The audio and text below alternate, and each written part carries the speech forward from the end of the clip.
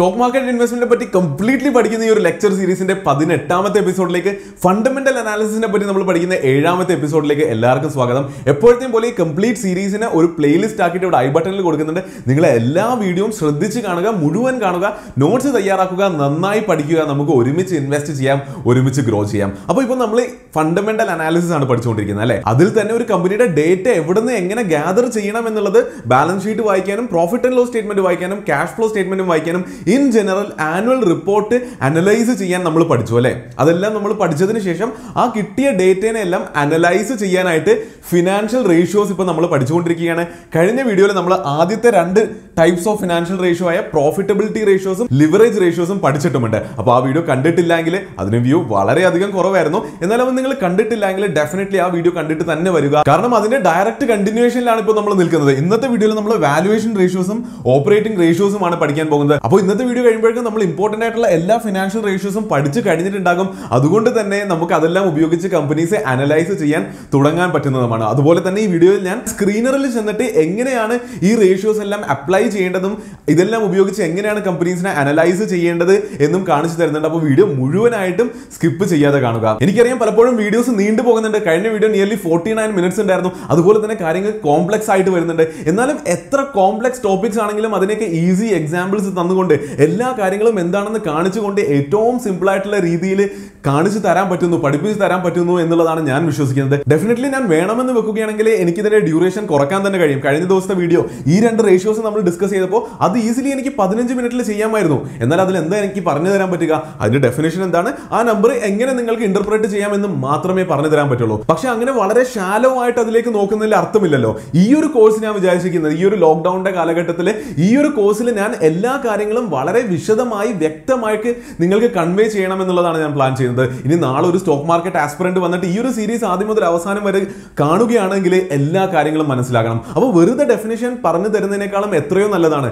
വിഗാർഡ് എന്നൊരു കമ്പനി എടുത്ത് നമ്മൾ അനലൈസ് ചെയ്തുകൊണ്ടിരിക്കുകയല്ലേ? അപ്പോൾ അതേ കമ്പനിയിൽ തന്നെ നമ്മൾ പഠിക്കുന്ന ഓരോ റേഷ്യവും അതിന്റെ നമ്പേഴ്സ് എവിടെ നിന്നാണ് കളക്ട് ചെയ്യുന്നത് എന്ന് കാണിച്ചുകൊണ്ട് അതിനെ കാൽക്കുലേഷനിൽ ഇട്ടിട്ട് എങ്ങനെ കാൽക്കുലേറ്റ് ചെയ്യണമെന്ന് പറയുമ്പോൾ അതാണ് റിയൽ എഡ്യൂക്കേഷൻ അപ്പോഴാണ് നിങ്ങൾ ശരിക്കും പഠിക്കുക. അപ്പോഴാണ് നിങ്ങളുടെ ഹൃദയത്തിലേക്ക് അത് കയറി നിങ്ങൾ അതിനെ കംപ്ലീറ്റ്ലി ഉൾക്കൊള്ളുക. അല്ലെങ്കിൽ പലരും വേറൊരു കാര്യം എന്നോട് ചോദിക്കുന്നത് സ്ക്രീനറിൽ ഈ ഡേറ്റ എല്ലാം കിട്ടുന്നതല്ലേ? പിന്നെ നമ്മൾ എന്തിനാണ് ഈ ആനുവൽ റിപ്പോർട്ട് എല്ലാം വായിക്കുന്നത്?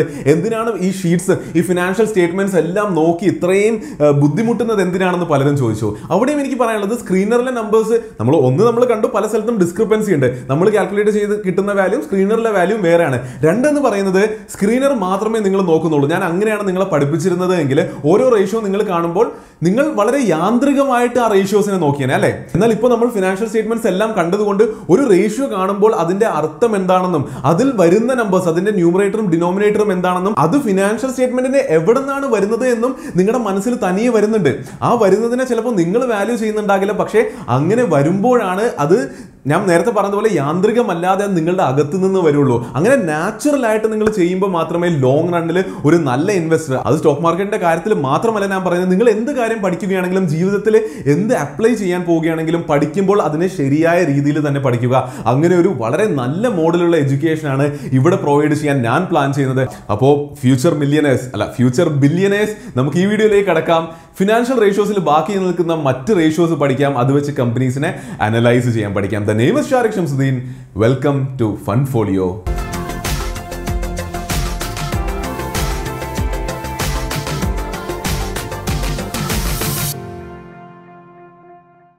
അപ്പോൾ ഫിനാൻഷ്യൽ റേഷ്യോസിന്റെ സെക്കൻഡ് പാർട്ടാണ് നമ്മൾ ഇന്ന് ഡിസ്കസ് ചെയ്യാൻ പോകുന്നത്. ഫസ്റ്റ് പാർട്ട് കണ്ടിട്ടാണ് എല്ലാവരും വന്നതെന്ന് ഞാൻ വിചാരിക്കുന്നു. വളരെ ഇമ്പോർട്ടന്റ് ആയിട്ടുള്ള പ്രോഫിറ്റബിലിറ്റി റേഷ്യോസും ലിവറേജ് റേഷ്യോസും അതിൽ നമ്മൾ ഡിസ്കസ് ചെയ്തിട്ടുണ്ട്. അത് കണ്ടിട്ട് തന്നെ എല്ലാവരും വരിക. നമുക്ക് മുന്നിലേക്ക് പോകാം. അപ്പോൾ ഇപ്പോഴത്തെയും പോലെ ഒരു ഡിസ്ക്ലോഷർ ആണ്. നമ്മൾ വീഗാർഡിനെ പറ്റി പല അനാലിസിസും പല റേഷ്യോസും വെച്ച് നോക്കുന്നുണ്ട്. ഒരിക്കലും ഒരു സ്റ്റോക്ക് റെക്കമെൻഡേഷൻ അല്ലേ നമ്മൾ പഠിക്കാൻ വേണ്ടി മാത്രം ചെയ്യുന്നതാണ്. അപ്പോൾ നമ്മൾ കഴിഞ്ഞ വീഡിയോയിൽ ഡിസ്കസ് ചെയ്ത പോലെ ഫിനാൻഷ്യൽ റേഷ്യോസ് ബേസിക്കലി നാല് ടൈപ്സ് ആണുള്ളത് അല്ലേ? Profitability ratios leverage ratios valuation ratios operating ratios ആദ്യത്തെ ആദ്യത്തെ രണ്ടെണ്ണം നമ്മൾ കഴിഞ്ഞ വീഡിയോയിൽ വളരെ വിശദമായിട്ട് അത് എങ്ങനെ കാൽക്കുലേറ്റ് ചെയ്യാം അതിന്റെ ഫോർമുല എന്താണ് അതിന്റെ ഡേറ്റ ഫിനാൻഷ്യൽ സ്റ്റേറ്റ്മെന്റ്സിൽ നിന്ന് എവിടെ നിന്നാണ് എടുക്കേണ്ടത് അതുപോലെ സ്ക്രീനറിൽ അത് അപ്ലൈ ചെയ്തുകൊണ്ട് എങ്ങനെ കമ്പനീസിനെ വാലുവേറ്റ് ചെയ്യാം എന്നുള്ളതും എല്ലാം നമ്മൾ പഠിച്ചു. അപ്പോൾ ഇന്നത്തെ വീഡിയോയിൽ നമ്മൾ വാലുവേഷൻ റേഷ്യോസും ഓപ്പറേറ്റിംഗ് റേഷ്യോസുമാണ് പഠിക്കാൻ പോകുന്നത്. അപ്പോൾ വീഡിയോ മുഴുവനായും ശ്രദ്ധിച്ചും കാണുക. ഏറ്റവും അവസാനം ഈ നാല് റേഷ്യോസിനെയും സ്ക്രീനറിൽ വെച്ചുകൊണ്ട് കമ്പനീസിനെ എങ്ങനെ അനലൈസ് ചെയ്യാം എന്ന് നമുക്ക് നോക്കാം. അല്ലെ? അപ്പോൾ മുന്നിലേക്ക് പോകുമ്പോൾ ആദ്യം നമ്മൾ പഠിക്കാൻ പോകുന്നത് വാലുവേഷൻ റേഷ്യോസിനെ പറ്റിയാണ്. ഇന്ന് പ്രോബ്ലി ഏറ്റവും കൂടുതൽ ഉപയോഗിക്കപ്പെടുന്ന റേഷ്യോസ് വാലുവേഷൻ റേഷ്യോസ് ആയിരിക്കും. കാരണം നിങ്ങൾ എല്ലാവരും കേട്ടിട്ടുണ്ടാവും. അതിൽ മൂന്നെണ്ണമാണ് അകത്ത് വരുന്നത്. പി റേഷ്യോ ഉണ്ട് പി ബി റേഷ്യോ ഉണ്ട് പി എസ് റേഷ്യോ ഉണ്ട്. ഇതിനെ വ്യക്തമായിട്ട് നമുക്ക് മുന്നിലേക്ക് പോകുമ്പോൾ കാണാം. അപ്പോൾ ആദ്യം എന്താണ് വാലുവേഷൻ റേഷ്യോ എന്ന് പെട്ടെന്ന് മനസ്സിലാക്കാമല്ലോ. അതായത് the valuation ratios help us develop a sense on how the stock price is valued by the market participants അതായത് നമ്മൾ ബേസിക്കലി ആ സ്റ്റോക്ക് കറന്റ് ട്രേഡ് ചെയ്യപ്പെടുന്ന മാർക്കറ്റ് വാല്യൂ ഉണ്ടല്ലോ. ആ മാർക്കറ്റ് വാല്യൂവിനെ ആ സ്റ്റോക്കിന്റെ ആ കമ്പനീന്റെ ഒറിജിനൽ ഏർണിംഗ്സുമായിട്ട് അല്ലെങ്കിൽ അതിന്റെ ഒറിജിനൽ ബുക്ക് വാല്യൂമായിട്ട് കമ്പയർ ചെയ്തുകൊണ്ട് അത് ഇപ്പോൾ ട്രേഡ് ചെയ്യപ്പെടുന്ന വില കൂടുതലാണോ അതോ കുറവാണോ എന്ന് നോക്കുന്നതിനാണ് ബേസിക്കലി വാല്യുവേഷൻ റേഷ്യോസ് ഹെൽപ്പ് ചെയ്യുന്നത്. അപ്പോൾ ഇതിൽ ഏത് റേഷ്യോ നോക്കുകയാണെങ്കിലും അത് നോക്കിയാൽ ഒറ്റയടിക്ക് നമുക്കൊരു ഐഡിയ കിട്ടും അതിന്റെ വാല്യുവേഷനെ പറ്റി അത് ഓവർ വാല്യൂഡ് ആണോ അണ്ടർ വാല്യൂഡ് ആണോ? എക്സ്പെൻസീവ് ആയിട്ട് ഒരു വിലക്കാണോ അത് ട്രേഡ് ചെയ്യപ്പെടുന്നത് അതോ ചീപ്പ് വിലക്കാണോ അത് ട്രേഡ് ചെയ്യപ്പെടുന്നത് എന്നൊരു ഐഡിയ വാല്യുവേഷൻ റേഷ്യോസ് നമുക്ക് തരുന്നു. അപ്പോൾ ആദ്യം നമ്മൾ പഠിക്കേണ്ട ഇതിൽ തന്നെ വാല്യുവേഷൻ റേഷ്യോസിൽ തന്നെ ഏറ്റവും ഇമ്പോർട്ടന്റ് ആയിട്ടുള്ള പി ഇ റേഷ്യോ ആണ്. പ്രൈസ് ടു ഏർണിംഗ്സ് റേഷ്യോ ആണ്. അതായത് ഇവിടെ പറയുന്ന P ratio is the ratio of a company's share price to the company's earnings per share നമ്മൾ നേരത്തെ കണ്ടതല്ലേ? വളരെ ഈസിയാണ് അതിന്റെ ഫോർമുല നോക്കിയാൽ തന്നെ നിങ്ങൾക്ക് കാണാൻ പറ്റും. Current stock price divided by earnings per share ഈ ഒരു ഫോർമുല മാത്തമാറ്റിക്കലി ലോജിക്കലി നിങ്ങളൊന്ന് ആലോചിച്ച് നോക്കിയേ. എന്താണ് ഇതിലൂടെ നമുക്ക് മനസ്സിലാക്കാൻ പറ്റുക? അതായത് ആ കമ്പനിയുടെ ഏർണിംഗ്സ് പെർ ഷെയറിന്റെ എത്ര ഇരട്ടിയാണ് അതിന്റെ കറന്റ് സ്റ്റോക്ക് പ്രൈസ് എന്ന് മനസ്സിലാക്കുന്നു അല്ലേ? അതായത് നൂറ് രൂപ ഉണ്ടാക്കുന്ന കമ്പനിയാണ്. അതിന്റെ സ്റ്റോക്ക് പ്രൈസ് നൂറ് തന്നെയാണ് എങ്കിൽ അതൊരു നല്ല വില നമുക്ക് പറയാൻ പറ്റില്ലേ? അപ്പൊ ഇപ്പൊ പറഞ്ഞ കേസിൽ രണ്ടും ഈക്വൽ ആകുമ്പോൾ ഡിവൈഡ് ചെയ്യുമ്പോൾ വൺ എന്ന് വരും അല്ലെ? അപ്പോൾ പി റേഷ്യോ വൺ എന്ന് പറഞ്ഞാൽ നമ്മൾ എത്ര രൂപക്ക് വാങ്ങുന്നു അത്ര രൂപ തന്നെ ഒരു വർഷത്തിൽ അതിൽ നിന്ന് കിട്ടുന്നു എന്നുള്ളതാണ് അർത്ഥം. അപ്പോൾ low P E value indicates under valued stocks എന്നാൽ പി ഇ റേഷ്യോ കൂടുമ്പോൾ ആ സ്റ്റോക്കിന്റെ പ്രൈസ് എക്സ്പെൻസീവ് ആണെന്ന് നമുക്ക് മനസ്സിലാകുന്നു. അപ്പോൾ ഇവിടെ നമുക്ക് വിഗാർഡിന്റെ കേസ് എടുത്തു നോക്കാം. കറന്റ് സ്റ്റോക്ക് പ്രൈസ് നൂറ്റി അൻപത്തിനാല് രൂപയാണ്. ഞാൻ ഇന്ന് മാർക്കറ്റിൽ നോക്കിയതാണ്. ഏർണിംഗ്സ് പെർ ഷെയർ നമുക്ക് പ്രോഫിറ്റ് ആൻഡ് ലോസ് സ്റ്റേറ്റ്മെന്റിൽ താഴെ പോയാൽ കിട്ടുന്നതാണ് അല്ലേ? കണ്ടോ ഇവിടെ നിന്ന് നമുക്ക് ഏർണിംഗ്സ് പെർ ഷെയർ കിട്ടും. അതിനെ ഇടുമ്പോൾ കാൽക്കുലേറ്റ് ചെയ്യുമ്പോൾ തേർട്ടി നയൻ പോയിന്റ് ടു എന്നുള്ളൊരു പി ഇ റേഷ്യോ ആണ് വിഗാർഡിന് വരുന്നത്. ഇതിന്റെ അർത്ഥം എന്താണ്? നിങ്ങൾ ഈ പ്രസന്റേഷൻ കാണുമ്പോൾ ഓരോ റേഷ്യോന്റെയും സ്ലൈഡ് വരുമ്പോൾ ഇവിടെ അതിന്റെ കാൽക്കുലേഷനും ഫോർമുലയും ഞാൻ കാണിക്കുന്നുണ്ട്.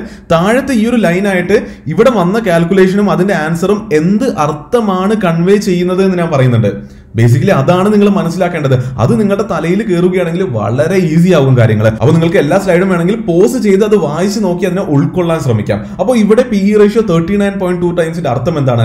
This means for every unit of profit generated by V Guard the market participants are willing to pay rupees thirty nine point two to acquire the share അതായത് ഒരു രൂപ പ്രോഫിറ്റ് വി ഗാർഡ് ഉണ്ടാകുമ്പോൾ thirty nine point two rupees കൊടുക്കാൻ ആൾക്കാർ റെഡിയാണ് ആ stock വാങ്ങാൻ. അപ്പോൾ മാർക്കറ്റിൽ അത്രയും പോസിറ്റീവ് എക്സ്പെക്ടേഷനും താല്പര്യവും ഉണ്ട് വി ഗാർഡിന്റെ സ്റ്റോക്കിനോട് ആൾക്കാർ എക്സ്പെക്ട് ചെയ്യുന്നുണ്ട് വി ഗാർഡ് ഗ്രോ ചെയ്യുന്നു. അതുകൊണ്ട് തന്നെ തേർട്ടി നയൻ ടൈംസിന്റെ ഒരു പ്രീമിയം എമൗണ്ട് പേ ചെയ്യാൻ മാർക്കറ്റ് റെഡിയാണ് അപ്പൊ ഇതൊരു ചെറിയ നമ്പർ ആയിരുന്നെങ്കിൽ അത് അത്ര എക്സ്പെൻസീവ് അല്ല എന്ന് നമുക്ക് മനസ്സിലാകും. ഇനി ഇവിടെ ലാസ്റ്റ് ലൈൻ കാണുന്നതും വളരെയധികം ഇമ്പോർട്ടന്റ് ആണ്. കഴിഞ്ഞ വീഡിയോയിൽ നമ്മൾ ഡിസ്കസ് ചെയ്താണ് ഇതിന് ഒറ്റയടിക്ക് കാണുമ്പോൾ ചിലപ്പോൾ നമുക്ക് പലപ്പോഴും അതിന്റെ അർത്ഥം മനസ്സിലായിക്കൊള്ളണമെന്നില്ല. പക്ഷേ പി റേഷ്യോയുടെ കാര്യത്തിൽ തേർട്ടി നയൻ പോയിന്റ് ടു എന്ന് കാണുമ്പോൾ നമുക്ക് ഡെഫിനറ്റ്ലി ഒരു കാര്യം മനസ്സിലാകും. അത് എക്സ്പെൻസീവ് ആണെന്ന് മനസ്സിലാകും അല്ലേ? പക്ഷെ അവിടെ ഒരു കാര്യം നിങ്ങൾ ശ്രദ്ധിക്കേണ്ടത് എന്താണെന്ന് വെച്ചാൽ നമ്മൾ ഒരു കമ്പനിയുടെ പി റേഷ്യോ മാത്രം നോക്കുമ്പോൾ എക്സ്പെൻസീവ് എന്ന് തോന്നിയാലും ചിലപ്പോൾ അത് ആ ഇൻഡസ്ട്രിയുടെ ഒരു പൊതുവെയുള്ള ഒരു ബിഹേവിയർ ആയിരിക്കും. ചില ഇൻഡസ്ട്രീസിൽ നോക്കുകയാണെങ്കിൽ അവിടെ എപ്പോഴും കമ്പനീസിന്റെ പി റേഷ്യോ വളരെ കൂടുതലായിട്ടായിരിക്കും നിൽക്കുന്നത്. അപ്പോൾ എപ്പോഴും ഞാൻ കഴിഞ്ഞ വീഡിയോയിൽ പറഞ്ഞതുപോലെ എപ്പോഴും അതിന്റെ പിയർ കമ്പനീസുമായിട്ടും കമ്പയർ ചെയ്യണം. അതുപോലെ തന്നെ ഈ കമ്പനിയുടെ പാസ്റ്റ്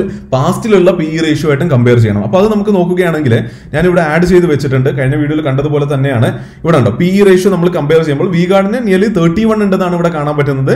മറ്റ് കമ്പനീസിന്റെ പി റേഷ്യോ കാണാൻ പറ്റുന്നുണ്ട്. അപ്പോൾ ഇൻഡസ്ട്രിയിൽ പൊതുവേ പി റേഷ്യോ കൂടുതലാണെന്ന് കാണാൻ പറ്റുന്നുണ്ട്. ഇൻഡസ്ട്രി ആവറേജ് ഇവിടെ നമുക്ക് എടുത്തു നോക്കാം. ഇൻഡസ്ട്രി ആവറേജ് കാൽക്കുലേറ്റ് ചെയ്യുകയാണെങ്കിൽ ആവറേജിലും കുറവാണ് വീഗാർഡ് നിൽക്കുന്നത് എന്ന് കാണാൻ പറ്റും. അല്ലെങ്കിൽ ആവറേജിന്റെ അടുത്താണ് നിൽക്കുന്നത്. അപ്പോൾ ഇൻഡസ്ട്രി ആവറേജ് നോക്കുമ്പോൾ വീഗാർഡ് അധികം എക്സ്പെൻസീവ് ആണെന്ന് തോന്നുന്നില്ല. പക്ഷേ ഇത് മാത്രം നോക്കുകയാണെങ്കിലോ വളരെ എക്സ്പെൻസീവ് ആണെന്ന് കാണുന്നുണ്ട് അല്ലേ? അപ്പോൾ പി റേഷ്യോ വെച്ചിട്ട് അങ്ങനെ നമുക്കൊരു അനാലിസിസ് നടത്താം. ഇവിടെ വരികയാണെങ്കിൽ ഈ പ്രൈസ് ടു ഏർണിംഗിൽ നിങ്ങൾ ക്ലിക്ക് ചെയ്യുകയാണെങ്കിൽ അപ്പോൾ ഇവിടെ നമുക്ക് ഒബ്സർവ് ചെയ്യാൻ പറ്റുന്നത് കഴിഞ്ഞ ഒരു വർഷത്തിൽ പ്രൈസ് ടു ഏർണിംഗ് റേഷ്യോ അത് ശക്തമായി താഴോട്ട് വന്നിട്ടുണ്ട് എന്നുള്ളതാണ്. അപ്പോൾ പി ഇ റേഷ്യോ എന്താണെന്നും അത് വളരെ ഇമ്പോർട്ടന്റ് ആയിട്ടുള്ള ഒരു കാര്യമാണ്. അത് മനസ്സിലായെന്നും ഞാൻ വിശ്വസിക്കുകയാണ്. മുന്നിലേക്ക് പോകുമ്പോൾ അടുത്തുള്ളത് price to book value ratio ആണ്. പി ബി റേഷ്യോ അല്ലെങ്കിൽ പി ബി വി റേഷ്യോ എന്ന് പറയും. ഈ ഒരു റേഷ്യോ ബേസിക്കലി ചെയ്യുന്നത് ഇത് കമ്പനിയുടെ മാർക്കറ്റ് വാല്യൂവിനെ അതിന്റെ ബുക്ക് വാല്യൂവുമായിട്ട് കമ്പയർ ചെയ്യുന്നു. അതിന് ഞാൻ ഈസി ആക്കാൻ വേണ്ടി പറഞ്ഞു തരികയാണെങ്കിൽ പി ഇ റേഷ്യോ ഒരു കമ്പനിയുടെ മാർക്കറ്റ് വാല്യൂവിനെ അതിന്റെ ഏർണിംഗ്സുമായിട്ട് അതിന്റെ പ്രോഫിറ്റുമായിട്ട് കമ്പയർ ചെയ്യുന്നു. എന്നാൽ പി ബി റേഷ്യോ ഒരു കമ്പനിയുടെ മാർക്കറ്റ് വാല്യൂവിനെ അതിന്റെ ബുക്ക് വാല്യൂമായിട്ട് കമ്പയർ ചെയ്യുന്നു. എന്താണ് ബുക്ക് വാല്യൂ നിങ്ങൾ വ്യക്തമായി പഠിച്ചിട്ടുണ്ടെങ്കിൽ നോട്ട്സ് എഴുതിയിട്ടുണ്ടെങ്കിൽ നിങ്ങൾക്ക് ഓർമ്മ ഉണ്ടാകേണ്ടതാണ്. ഷെയർ ഹോൾഡേഴ്സ് ഇക്വിറ്റി അല്ലെ? ഒരു കമ്പനിയിലെ ബാലൻസ് ഷീറ്റ് നോക്കുമ്പോൾ അതിൽ ഷെയർ ഹോൾഡേഴ്സ് ഇക്വിറ്റി എന്ന കമ്പോണന്റിനെ അല്ലേ നമ്മൾ ബുക്ക് വാല്യൂ എന്ന് വിളിക്കുന്നത്? അതിന്റെ പ്രാക്ടിക്കൽ അർത്ഥം എന്തായിരുന്നു? ഒരു കമ്പനിയുടെ എല്ലാ അസറ്റ്സിനെയും വിറ്റ് കാശാക്കിയതിനു ശേഷം ആ കാശ് വെച്ച് ആ കമ്പനിയുടെ ലയബിലിറ്റീസ് എല്ലാം അടച്ചു തീർത്തിട്ട് ബാക്കി ആ കമ്പനിയിൽ എത്ര പൈസ ഉണ്ടാക്കുമോ അതിനല്ലേ ബുക്ക് വാല്യൂ എന്ന് വിളിച്ചത്. അല്ലെങ്കിൽ ഷെയർ ഹോൾഡേഴ്സ് ഇക്വിറ്റി എന്ന് വിളിച്ചത്. അതായത് ഇതിന്റെ ഫോർമുലയിലേക്ക് നിങ്ങൾക്ക് നോക്കിയാൽ മനസ്സിലാവും. Current stock price divided by book value per share അപ്പോൾ ബുക്ക് വാല്യൂ എവിടെ നിന്നാണ് എടുക്കേണ്ടത് നമുക്കറിയാം അല്ലെ? അതായത് ബാലൻസ് ഷീറ്റിൽ പോയിട്ട് ഇവിടെ വരികയാണെങ്കിൽ നമുക്ക് ടോട്ടൽ ഇക്വിറ്റി കാണാൻ പറ്റും അല്ലെ? ടോട്ടൽ ഇക്വിറ്റിനെ അല്ലേ ബുക്ക് വാല്യൂ എന്ന് പറയുന്നത്? അതിനെ ടോട്ടൽ നമ്പർ ഓഫ് ഷെയർസ് കൊണ്ട് ഡിവൈഡ് ചെയ്യുകയാണെങ്കിൽ ബുക്ക് വാല്യൂ പെർ ഷെയർ കിട്ടും. ശരിയല്ലേ? ടോട്ടൽ നമ്പർ ഓഫ് ഷെയർസ് ഇവിടെ നിങ്ങൾ കൺട്രോൾ എഫ് അടിച്ച് ഷെയർ ഹോൾഡിംഗിൽ പോയാൽ കാണാൻ പറ്റും. വികാർഡിന്റെ കേസിൽ nearly forty two crore shares ഉണ്ട്. അപ്പോൾ അങ്ങനെ ഡിവൈഡ് ചെയ്യുമ്പോൾ നമുക്ക് ബുക്ക് വാല്യൂ പെർ ഷെയർ കിട്ടുന്നു. കറന്റ് സ്റ്റോക്ക് പ്രൈസ് നൂറ്റൻപത്തിനാലാണ് നമുക്കറിയാം. Book value per share twenty one point two വന്നു. അപ്പോൾ ഡിവൈഡ് ചെയ്യുമ്പോൾ seven point two six times വന്നു. അപ്പോൾ ഇതിന്റെ അർത്ഥം എന്താണ്? എപ്പോഴത്തെ പോലെയും താഴെ എഴുതിയിട്ടുണ്ട്.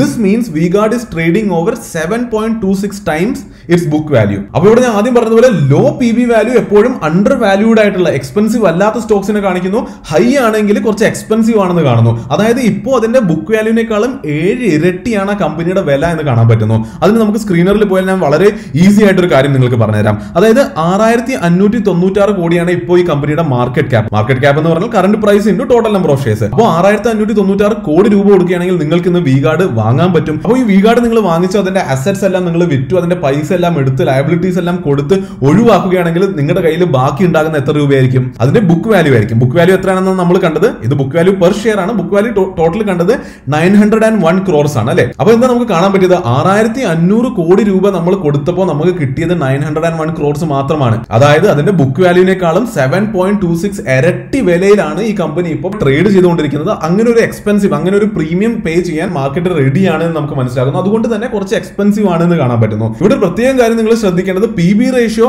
under one നിങ്ങൾക്ക് കിട്ടുകയാണെങ്കിൽ അതൊരു അമേസിംഗ് അമേസിംഗ് ഡീൽ ആയിരിക്കും. അല്ല വേറെ പ്രശ്നങ്ങളൊന്നും ഇല്ലെങ്കിൽ അതിനെ നിങ്ങൾ അനലൈസ് ചെയ്ത് വേറെ പ്രശ്നങ്ങളൊന്നും ഇല്ലെങ്കിൽ അതൊരു വളരെ നല്ല കാര്യമായിരിക്കും. അണ്ടർ വണ്ണിന്റെ അർത്ഥം എന്താണ്? ഒന്ന് ആലോചിച്ച് നോക്കിയേ.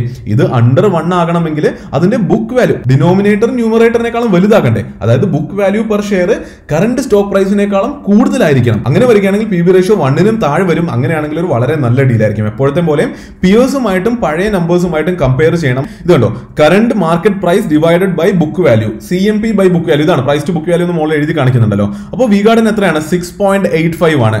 ക്രോംപ്ടൺ ഗ്രീവ്സ് ഒക്കെ ടെൻ ഉണ്ട്. എന്നാലും ഇവിടെ സിഎംഎൻസും എ ബി ബി ഒക്കെ സിക്സിലും കുറവിൽ കിട്ടുന്നുണ്ടെന്ന് കാണുന്നു. അപ്പോൾ ഇവിടെ ശരിക്കും ആവറേജിനും കുറച്ച് മുകളിലാണ് നിൽക്കുന്നത് അല്ലെ? പിയിലെ ആവറേജിലോ ആവറേജിലും താഴെയാണ് നിന്നത്. പക്ഷേ ഇവിടെ കുറച്ച് മുകളിലാണ് നിൽക്കുന്നത് എന്ന് നമുക്ക് കാണാൻ പറ്റുന്നു. അപ്പോൾ പി ബി വി വാല്യൂ എന്നൊരു വളരെ ഇമ്പോർട്ടന്റ് ആയിട്ടുള്ള നല്ലൊരു ഫിൽട്ടർ മനസ്സിലാക്കിയ സ്ഥിതിക്ക് നമുക്കിനി പ്രൈസ് ടു സെയിൽസ് റേഷ്യോ നോക്കാം. അപ്പൊ ഇവിടെ ബേസിക്കലി ഒരു കമ്പനിയുടെ കറണ്ട് മാർക്കറ്റ് പ്രൈസിനെ അതിന്റെ സെയിൽസുമായിട്ടാണ് കമ്പയർ ചെയ്യുന്നത്. നേരത്തെ നമ്മൾ ഏർണിംഗ്സുമായിട്ടും ബുക്ക് വാല്യൂമായിട്ടും കമ്പയർ ചെയ്തു ഇവിടെ സെയിൽസുമായിട്ട് കമ്പയർ ചെയ്യുന്നു. ഇത് എന്തുകൊണ്ടാണ് ഇമ്പോർട്ടന്റ് എന്ന് വെച്ചാൽ ഇത് ചില കമ്പനീസിന്റെ കാര്യത്തിൽ ചില ഇൻഡസ്ട്രീസിൽ വളരെ റിലവന്റ് ആണ്. അതായത് ചില ഇൻഡസ്ട്രീസിലും കമ്പനീസിന്റെ കേസിൽ അക്കൗണ്ടിംഗ് റൂൾസ് കാരണം profitable company may seem to have no earnings at all due to huge write offs applicable to that industry ഒരു കമ്പനി ഓപ്പറേഷണലി ഹൈലി പ്രോഫിറ്റബിൾ ആണെങ്കിലും അതിൽ ഏർണിംഗ്സിൽ നോക്കുമ്പോൾ ചിലപ്പോൾ ഒന്നും കാണില്ല. കാരണം കുറെ ഡിപ്രീസിയേഷൻ അമോർട്ടൈസേഷൻ വരാനോ കുറെ ടാക്സസോ ഇൻട്രസ്റ്റ് പേയ്മെന്റ്സ് വരാനോ ഒക്കെ സാധ്യതയുണ്ട്. അപ്പോൾ ഇങ്ങനത്തെ കേസിൽ ഇങ്ങനത്തെ ഇൻഡസ്ട്രീസിന്റെ കേസിൽ price to sales ratio definitely use ചെയ്യാൻ പറ്റുന്നതാണ്. അതിന്റെ ഫോർമുല ഇവിടെ കാണാൻ പറ്റുന്ന പോലെ current stock price divided by sales per share ആണ്. അപ്പോൾ കറന്റ് സ്റ്റോക്ക് പ്രൈസ് നമുക്കറിയാം വൺ ഫിഫ്റ്റി ഫോർ ആണ്. സെയിൽസ് പെർ ഷെയർ കണ്ടുപിടിക്കാനായിട്ട് ടോട്ടൽ സെയിൽസ് കണ്ടുപിടിച്ചതിന് ശേഷം റവന്യൂ കണ്ടുപിടിച്ചതിന് ശേഷം അതിനെ നമ്പർ ഓഫ് ഷെയർസ് കൊണ്ട് ഡിവൈഡ് ചെയ്യാം. അപ്പോൾ ഈ ഒരു നമ്പർ കിട്ടും. അത് ടു പോയിന്റ് ഫൈവ് ടൈംസ് ആണ് നമുക്ക് കാണാൻ പറ്റുന്നുണ്ട് അല്ലേ? അപ്പോൾ അതെന്താണ് കാണിക്കുന്നത്? എപ്പോഴത്തെയും പോലെ P S ratio of two point five times indicates that for every rupees 1 of sales, the stock is valued rupees 2.5 times higher. മനസ്സിലായോ? അതായത് ഒരു രൂപ സെയിൽസ് ഉണ്ടാക്കുന്ന സ്ഥലത്ത് അതിന് രണ്ടര രൂപ കൊടുക്കാൻ ആൾക്കാർ തയ്യാറാണ്. അപ്പൊ അങ്ങനെ ഒരു എക്സ്പെൻസീവ് ഫാക്ടറിലാണ് അത് ഓടിക്കൊണ്ടിരിക്കുന്നത്. അപ്പൊ ഇവിടെയും പി എസ് റേഷ്യോ കൂടുകയാണെങ്കിൽ സ്റ്റോക്ക് പ്രൈസ് എക്സ്പെൻസീവ് ആണെന്നും പി എസ് റേഷ്യോ കുറഞ്ഞു നിൽക്കുകയാണെങ്കിൽ അത് ചീപ്പ് ആണെന്നും നമുക്ക് മനസ്സിലാക്കാൻ പറ്റുന്നു. അല്ലെ? അപ്പൊ ഇവിടെ നമ്മളൊന്ന് കമ്പയർ ചെയ്യുകയാണെങ്കിൽ എന്താ കാണാൻ പറ്റുന്നത്? കണ്ടോ? Price to സെയിൽസിന് C M P by sales എന്നാണ് ഇവിടെ എഴുതുക നിങ്ങൾ എഡിറ്റ് കോളംസിൽ പോയാൽ കിട്ടുന്നതാണ്. അപ്പോൾ V Guard two point four six ഉണ്ട്. മറ്റ് കമ്പനീസ് എല്ലാം ഏറെക്കുറെ two point seven two two point നയനിന്റെ റേഞ്ചിലാണുള്ളത് അപ്പോൾ വി ഗാർഡ് ഇവിടെ ഡെഫിനറ്റ്ലി ആവറേജിനും താഴെയാണ് നിൽക്കുന്നത് വളരെ നല്ല കാര്യമാണ്. അപ്പൊ ഏറെക്കുറെ ഒരു മിക്സ്ഡ് റെസ്പോൺസും സ്റ്റാൻഡിങ്സുമാണ് വി ഗാർഡന്റെ ഭാഗത്ത് നിന്ന് നമുക്ക് ഇവിടെ വാലുവേഷൻ റേഷ്യോസ് നോക്കുമ്പോൾ കാണാൻ പറ്റിയത്. ബട്ട് ഡെഫിനറ്റ്ലി ഇൻഡസ്ട്രിയിലെ പിയേഴ്സുമായിട്ട് നോക്കുകയാണെങ്കിൽ ഒട്ടും മോശമല്ലാത്ത എന്നാൽ നന്നായി പെർഫോം ചെയ്യുന്ന രീതിയിലാണ് വി ഗാർഡ് നിൽക്കുന്നത് എന്ന് നമുക്ക് മനസ്സിലാകുന്നുണ്ട്. അപ്പോൾ ഇതിൽ നിന്ന് എന്താ കാണാൻ പറ്റുന്നത്? ഈ വാലുവേഷൻ റേഷ്യോസ് നോക്കുമ്പോൾ V Guard is eligible for further studies എന്ന് നമുക്ക് മനസ്സിലായി. അപ്പൊ ഇതിനൊരു ഫിൽട്ടർ ആക്കി വെച്ചിട്ട് നോക്കിയിട്ട് നമുക്ക് മുന്നിലേക്ക് നോക്കാം. എന്നാലും നിങ്ങൾ ഇൻഡസ്ട്രി സ്പെസിഫിക് അല്ലാതെ സ്റ്റഡി ചെയ്യുകയാണെങ്കിൽ ഇവിടെ കാണുന്ന പി റേഷ്യോസ് ഒക്കെ ആക്ച്വലി എക്സ്പെൻസീവ് ആണ് എന്നുള്ളത് നമ്മൾ മനസ്സിലാക്കേണ്ടതുണ്ട്. എന്നാലും ഞാൻ ഒന്നുകൂടി പറയുകയാണ് എപ്പോഴും ഒരു കമ്പനീനെ അനലൈസ് ചെയ്യുമ്പോൾ ഒരു റേഷ്യോ വെച്ചിട്ടോ രണ്ട് റേഷ്യോ വെച്ചിട്ടോ അഞ്ച് റേഷ്യോ വെച്ചിട്ടോ അത്രയും ചെറിയ പാരാമീറ്റേഴ്സ് വെച്ചല്ല നോക്കേണ്ടത്. കുറേ അധികം കുറേ അധികം പാരാമീറ്റേഴ്സ് നമ്മൾ നോക്കേണ്ടതുണ്ട്. അതിന് വരുന്ന വീഡിയോസിൽ നമുക്ക് പഠിക്കാൻ പറ്റുന്നതാണ്. അപ്പോൾ വാലുവേഷൻ റേഷ്യോസ് ആയിട്ടുള്ള ഈ മൂന്ന് റേഷ്യോസ് നമ്മൾ വ്യക്തമായി പഠിച്ചു. ഇത് മൂന്നും വലിയ നമ്പർ ആണെങ്കിൽ ആ കമ്പനിയുടെ കറണ്ട് സ്റ്റോക്ക് പ്രൈസ് എക്സ്പെൻസീവ് ആണെന്ന് നമുക്ക് മനസ്സിലാക്കുന്നു ഇത് മൂന്നും കുറഞ്ഞു നിൽക്കുകയാണെങ്കിൽ അത് ചീപ്പ് വിലക്ക് കിട്ടുന്നു എന്ന് നമുക്ക് മനസ്സിലാക്കുന്നു അല്ലെ? അപ്പൊ മുന്നിലേക്ക് ഓപ്പറേറ്റിംഗ് റേഷ്യോസിലേക്ക് നമുക്ക് പോകാം. ഓപ്പറേറ്റിംഗ് റേഷ്യോസ് എന്താണ് കാണിക്കുന്നത്? അത് ആ കമ്പനി ഓപ്പറേഷണലി എത്ര എഫിഷ്യന്റ് ആണെന്ന് കാണിക്കുന്നു അല്ലെ? These ratios indicate the efficiency in which the assets of the company are utilise ഇതിനോ activity ratios എന്നും മാനേജ്മെന്റ് റേഷ്യോസ് എന്നും പറയുന്നത് കാരണം ഡെഫിനറ്റ്ലി ഇത് ബെറ്റർ ആകുന്നുണ്ടെങ്കിൽ മാനേജ്മെന്റ് ബെറ്റർ രീതിയിൽ പെർഫോം ചെയ്യുന്നു എന്നുള്ളതാണ് കാണിക്കുന്നത് അല്ലെ? അപ്പൊ ഇത് ഓരോന്നും കാൽക്കുലേറ്റ് ചെയ്യുന്നത് ആക്ച്വലി വളരെയധികം ഈസിയാണ് മുൻപത്തെ റേഷ്യോസ് പോലെയല്ല മാത്തമാറ്റിക്കൽ ആപ്ലിക്കേഷൻ വളരെ കുറവാണ്. ഈസി ആയിട്ട് നിങ്ങൾക്ക് മനസ്സിലാകും. അതുപോലെ ഓരോ റേഷ്യോ നോക്കുമ്പോഴും ആ കമ്പനി എത്രമാത്രം ഓപ്പറേഷനലി എഫിഷ്യന്റ് ആണെന്ന് നമുക്ക് മനസ്സിലാകും. ശരിയല്ലേ? അപ്പോൾ ഏറ്റവും ആദ്യത്തെ റേഷ്യോ നമ്മൾ നോക്കാൻ പോകുന്നത് fixed assets turn over ratio ആണ്. അപ്പോൾ മറ്റ് എക്സ്പ്ലനേഷനിലേക്ക് പോകുന്നതിന് മുമ്പ് നമുക്ക് ഇതിന്റെ ഫോർമുല എന്താ നോക്കാം. Fixed assets turn over ratio is equal to operating revenues divided by average of fixed assets വളരെ ഈസിയാണ് ഈ മാത്തമാറ്റിക്കൽ ഫോർമുല നോക്കുമ്പോൾ തന്നെ നിങ്ങൾക്ക് ഇത് ലോജിക്കലി ഇതിന്റെ അർത്ഥം എന്താണെന്ന് മനസ്സിലാകും. എന്താ നിങ്ങൾക്ക് മനസ്സിലാകുന്നത്? അതായത് ഈ കമ്പനിയുടെ ഫിക്സ്ഡ് അസറ്റ്സ് വെച്ചുകൊണ്ട് എത്ര ഓപ്പറേഷണൽ റവന്യൂസ് ജനറേറ്റ് ചെയ്യാൻ കമ്പനിക്ക് പറ്റുന്നു എന്നുള്ളതാണ് നമ്മൾ നോക്കുന്നത്. ശരിയല്ലേ? അപ്പോൾ ഫിക്സ്ഡ് അസറ്റ്സ് വെച്ചിട്ട് എത്ര എഫിഷ്യന്റ്ലി റവന്യൂസ് ജനറേറ്റ് ചെയ്യാൻ പറ്റുന്നു എന്നുള്ളത് fixed assets turn over ratio പറയുന്നു. കണ്ടോ? അത് തന്നെയാണ് പറയുന്നത്. The ratio measures the extend of the revenue generated in comparison to its investment in fixed assets അപ്പോൾ ഫിക്സ്ഡ് അസറ്റ്സ് എന്ന് പറയുന്നത് എന്താണ്? നമുക്കറിയാം. ആ കമ്പനിയുടെ ഫാക്ടറി ആകാം അതിന്റെ പ്രോപ്പർട്ടി ആകാം അതിന്റെ എക്യുപ്മെന്റ് ആകാം. അപ്പോൾ ഈ ഒരു റേഷ്യോയിൽ നിന്ന് നമുക്ക് മനസ്സിലാക്കാൻ പറ്റുന്നത് ഒരു കമ്പനി ആവശ്യമില്ലാതെ കുറേ ഫിക്സ്ഡ് അസറ്റ്സ് എല്ലാം വാങ്ങിച്ച് കൂട്ടിയിട്ടില്ലല്ലോ. അത്രയും വാങ്ങിച്ച് കൂട്ടിയിട്ട് പോലും അത്രയും സാധനങ്ങൾ കൊണ്ട് കുറച്ച് പൈസ ആണോ അവർ ഉണ്ടാക്കുന്നത്? അതോ നല്ല പൈസ ഉണ്ടാക്കുന്നുണ്ടോ എന്ന് നമുക്ക് നോക്കാൻ പറ്റുന്നു. അപ്പോൾ ഈ ഒരു റേഷ്യോ കൂടുതലാണെങ്കിൽ അത് എപ്പോഴും നല്ല കാര്യമാണ്. റേഷ്യോ കുറവാണെങ്കിൽ അത് അവരുടെ എഫിഷ്യൻസി കുറവാണ് എന്ന് മനസ്സിലാക്കും. അത് ഈ കാൽക്കുലേഷൻ കാണുമ്പോൾ നിങ്ങൾക്ക് മനസ്സിലാകും. അപ്പോൾ ഓപ്പറേറ്റിംഗ് റവന്യൂസ് നമുക്കറിയാം. നേരെ നമുക്ക് ഇവിടെ നിന്ന് എടുക്കാൻ പറ്റുന്നതാണ് അല്ലെ? ഓപ്പറേഷണൽ റവന്യൂസ് റവന്യൂ ഫ്രം ഓപ്പറേഷൻസിൽ നിന്ന് ടു ഫൈവ് നയൻ ഫോർ വളരെ ഈസി ആയിട്ട് നമുക്ക് എടുക്കാം. പ്രോഫിറ്റ് ആൻഡ് ലോസ് സ്റ്റേറ്റ്മെന്റിൽ നിന്ന്. ആവറേജ് ഓഫ് ഫിക്സ്ഡ് അസറ്റ്സിൽ നമുക്ക് ഫിക്സ്ഡ് അസറ്റ്സിന്റെ ആവറേജ് ആണ് എടുക്കേണ്ടത് അല്ലെ? ആവറേജ് എടുക്കുന്നത് എപ്പോഴും നമുക്ക് കുറച്ചും കൂടി ബെറ്റർ ആക്യുറേറ്റ് ഡേറ്റ കിട്ടുമെന്ന് നമ്മൾ കഴിഞ്ഞ വീഡിയോയിൽ പഠിച്ചു. അപ്പോൾ ഇവിടെ കണ്ടോ? നോൺ കറന്റ് അസറ്റ്സിൽ പോയാൽ പ്രോപ്പർട്ടി പ്ലാന്റ് ആൻഡ് എക്യുപ്മെന്റ് കിട്ടും. അപ്പോൾ ഈ ഒരു വാല്യൂന്റെയും ഈ വാല്യൂന്റെയും ആവറേജ് എടുക്കാം. അപ്പോൾ ടു വൺ ത്രീ ക്രോർസ് കിട്ടി. ഇതിനെ ഡിവൈഡ് ചെയ്യുമ്പോൾ ട്വൽവ് പോയിന്റ് വൺ ടു വന്നു. അപ്പോൾ അതിന്റെ അർത്ഥം എന്താണ്? എപ്പോഴത്തെ പോലെ interpretation താഴെയുണ്ട്. V Guard is able to generate rupees twelve point one two per fixed asset worth of rupees one മനസ്സിലായോ? വളരെ നല്ലൊരു കാര്യമാണ് ഇത് കൺവേ ചെയ്യുന്നത്. അതായത് ആ കമ്പനി ഒരു ഫിക്സ്ഡ് അസറ്റിലേക്ക് ഒരു രൂപ ഇൻവെസ്റ്റ് ചെയ്യുകയാണെങ്കിൽ ആ കമ്പനിക്ക് അറിയാം. ആ ഒരു ഒരു രൂപ കൊണ്ട് പന്ത്രണ്ട് രൂപ ജനറേറ്റ് ചെയ്യാൻ പറ്റുമെന്ന് കമ്പനിക്ക് അറിയാം. വളരെ നല്ലതല്ലേ? അപ്പൊ ഈ ഒരു റേഷ്യോ വളരെ ഹെൽപ്ഫുൾ അല്ലേ? ഒരു കമ്പനിയുടെ ഈ ഒരു റേഷ്യോ നമുക്ക് കാണുകയാണെങ്കിൽ തന്നെ മനസ്സിലാകില്ലേ? അതിന്റെ ഫിക്സ്ഡ് അസറ്റ്സ് ഉള്ള ഇൻവെസ്റ്റ്മെന്റ് എത്ര നന്നായി ആ കമ്പനി ഉപയോഗിക്കുന്നുണ്ട് എന്നൊരു ഐഡിയ നമ്മൾക്ക് കിട്ടില്ലേ? ഇത് ബേസിക്കലി ക്യാപിറ്റൽ ഇന്റൻസീവ് ആയിട്ടുള്ള ഇൻഡസ്ട്രീസ് ആണ് ഉപയോഗിക്കുന്നത്. അവിടെയാണല്ലോ കൂടുതലും ഫിക്സ്ഡ് അസറ്റ്സ് എല്ലാം കൂടുതലും ഉണ്ടാകുക. ഇതും എപ്പോഴത്തെ പോലെയും ഇതിന്റെ പിയേഴ്സിന്റെ നമ്പേഴ്സുമായിട്ടും ഇതിന്റെ പഴയ നമ്പേഴ്സുമായിട്ടും കമ്പയർ ചെയ്യേണ്ടതുണ്ട്. ഓവർ ദ ഇയേഴ്സ് കമ്പനിയുടെ എഫിഷ്യൻസി കൂടിയോ കമ്പനിയുടെ എഫിഷ്യൻസ് കുറഞ്ഞാണോ വരുന്നത് എന്ന് നമുക്ക് പഠിക്കാൻ പറ്റും. അടുത്തത് എന്താണ്? Total assets turn over ratio കണ്ടോ? ഞാൻ പറഞ്ഞത് വളരെ ഈസിയാണ് ഈ ഒരു സെക്ഷൻ എന്ന് പറയുന്നത്. ഇവിടെ ഫിക്സ്ഡ് അസറ്റ്സ് വെച്ചിട്ട് എത്ര പൈസ അവർ ഉണ്ടാക്കുന്നു എന്ന് നമ്മൾ പഠിച്ചു. ഇവിടെ ടോട്ടൽ അസറ്റ്സ് വെച്ചിട്ട് എത്ര പൈസ അവർക്ക് ഉണ്ടാക്കാൻ പറ്റുന്നു. അതിന്റെ എഫിഷ്യൻസിയാണ് നമ്മൾ അളക്കുന്നത്. അപ്പോൾ ഇതിന്റെ ഫോർമുലയിലേക്ക് നോക്കുകയാണെങ്കിൽ operating revenue divided by average total assets ആയിരുന്നു. നേരത്തെ ഇവിടെ ഫിക്സ്ഡ് അസറ്റ്സ് മാത്രം എടുത്തു ഇപ്പൊ ഇവിടെ ടോട്ടൽ അസറ്റ്സ് വെച്ചു. അപ്പോൾ ടോട്ടൽ അസറ്റ്സിൽ മറ്റു പല കാര്യങ്ങളും കൂടി വരുന്നില്ലേ? അപ്പോൾ ഒരു കമ്പനിയുടെ അസറ്റ്സിലേക്ക് കമ്പനി ഇൻവെസ്റ്റ് ചെയ്യുകയാണെങ്കിൽ അതിൽ നിന്ന് എത്ര പൈസ ഉണ്ടാക്കാൻ പറ്റുന്നു എന്നുള്ളത് ഈ ഒരു റേഷ്യോ തരുന്നു. ഇതും എത്ര ഹൈ ആണോ അത്രയും നല്ലതാണ്. ഓപ്പറേറ്റിംഗ് റവന്യൂ നേരത്തെ പോലെ ടു ഫൈവ് നയൻ ഫോർ ആണ്. ആവറേജ് ടോട്ടൽ അസറ്റ്സ് കണ്ടോ? ഇവിടെ ടോട്ടൽ അസസ് ഉണ്ട്. ഇതിന്റെ രണ്ടിന്റെയും ആവറേജ് നമ്മൾ എടുക്കുകയാണെങ്കിൽ ഇവിടെ കിട്ടും വൺ ടു സെവൻ ടു കിട്ടും. ഡിവൈഡ് ചെയ്തപ്പോൾ two point zero three times കിട്ടി. എന്താണ് ഇതിൽ നിന്ന് ഇന്റർപ്രറ്റ് ചെയ്യാൻ പറ്റുന്നത്?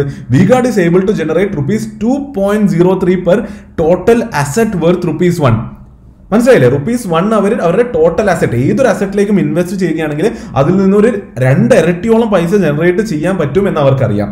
അപ്പൊ അത് നമുക്ക് വളരെ വ്യക്തമായി മനസ്സിലായി. അടുത്തത് working capital turn over ratio ആണ്. എനിക്കറിയാം ഓപ്പറേറ്റിംഗ് റേഷ്യോസിന്റെ കാര്യത്തിൽ ഒരു പ്രശ്നം എന്താണെന്ന് വെച്ചാൽ ഇതിന്റെ പേരെല്ലാം വളരെ വലുതാണ്. കേൾക്കുമ്പോൾ പെട്ടെന്ന് തലയിലേക്ക് നിൽക്കില്ല. മറ്റേതൊക്കെ എന്ത് ക്യൂട്ടായിരുന്നു അല്ലെ? P E ratio P B ratio R O E R O C പക്ഷെ ഇവിടെ അങ്ങനെയല്ല. Working capital turnover ratio total assets turnover ratio പക്ഷെ നിങ്ങൾ ഇതൊന്ന് ശ്രദ്ധിച്ച് കേൾക്കുകയാണെങ്കിൽ അത് കേൾക്കുമ്പോൾ തന്നെ ഇതിലെ വാക്ക് എന്താണെന്നൊന്ന് തലയിലേക്ക് കേട്ടുകയാണെങ്കിൽ ഇത് ആക്ച്വലി മറ്റേതിനേക്കാളും എല്ലാം ഈസിയാണ് ഇവിടെ ഒന്ന് ആലോചിച്ച് നോക്കിയാൽ വർക്കിംഗ് ക്യാപിറ്റൽ ടേൺ ഓവർ റേഷ്യോന്റെ ഫോർമുലയിലേക്ക് നമുക്ക് നോക്കാം. Revenue divided by average working capital വളരെ ഈസിയാണ് കഴിഞ്ഞ രണ്ടെണ്ണം പഠിച്ചതാണെങ്കിൽ മനസ്സിലായിട്ടുണ്ടെങ്കിൽ ഇത് നിങ്ങൾക്ക് വളരെ പുഷ്പം പോലെ മനസ്സിലാക്കാൻ പറ്റുന്നതേ ഉള്ളൂ. അതായത് വർക്കിംഗ് ക്യാപിറ്റൽ ഉപയോഗിച്ച് എത്ര റവന്യൂ ആ കമ്പനിക്ക് ജനറേറ്റ് ചെയ്യാൻ പറ്റുന്നു? വർക്കിംഗ് ക്യാപിറ്റൽ ഉപയോഗിക്കുന്നതിന്റെ എഫിഷ്യൻസി എന്താണ് എന്നുള്ളതാണ് ഈ ഒരു റേഷ്യോ പറയുന്നത്. ആ ഒരു ടേംസിൽ പറയുകയാണെങ്കിൽ ഇവിടെ കമ്പനി ഫിക്സ്ഡ് അസറ്റ്സ് ഉപയോഗിക്കുന്നതിന്റെ എഫിഷ്യൻസി നമ്മൾ കണ്ടു. ഇവിടെ നമ്മൾ ടോട്ടൽ അസറ്റ്സ് ഉപയോഗിക്കുന്നതിന്റെ എഫിഷ്യൻസി കണ്ടു. ഇവിടെ വർക്കിംഗ് ക്യാപിറ്റൽ ഉപയോഗിക്കുന്നതിന്റെ എഫിഷ്യൻസി നമ്മൾ കാണുകയാണ്.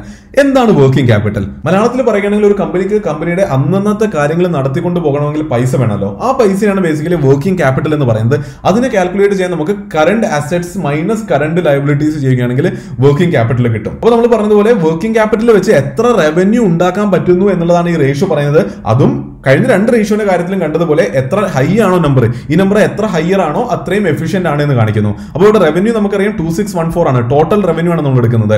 താഴോട്ട് പോവുകയാണെങ്കിൽ പി എൻ എൽ സ്റ്റേറ്റ്മെന്റിൽ ടോട്ടൽ റവന്യൂ നമ്മൾ എടുക്കണം. കേട്ടോ ഇവിടെ total revenue two six one four ആണ്.